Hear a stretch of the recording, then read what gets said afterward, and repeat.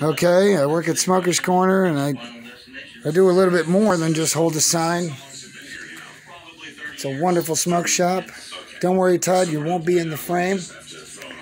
The most important thing are these three machines.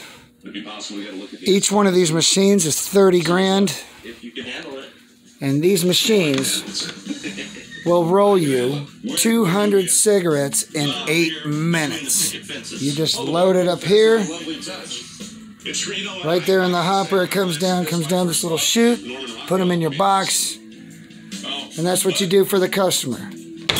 We're providing a great service. We're giving them chemical free tobacco with no accelerants. I believe we're doing a service to the community. Here's another machine. This is our Newport machine, the machine that we specifically like to throw Newport in. We put our tubes in the cassette. You load them into the machine. I am as well. Sorry, just had to take a little bit of a documentary. Just want to show you, I got to clean these and maintain them.